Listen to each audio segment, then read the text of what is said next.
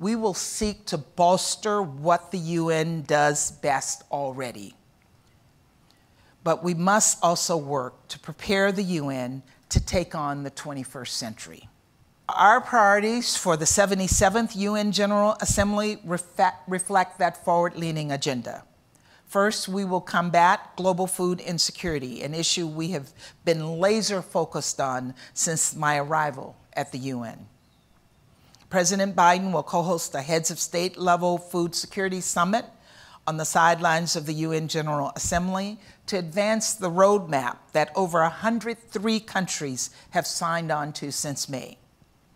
Second, we will advance global health and global health security. President Biden will host the seventh replenishment conference for the Global Fund, which focuses on stamping out persistent threats like AIDS, tuberculosis, and malaria, and preparing for future pandemics. And finally, as I'm doing today, we will recommit to upholding the UN Charter and seek to shape the future of the UN. Our response to Russia's flagrant violation cannot be to abandon those founding principles. Instead, we must double down.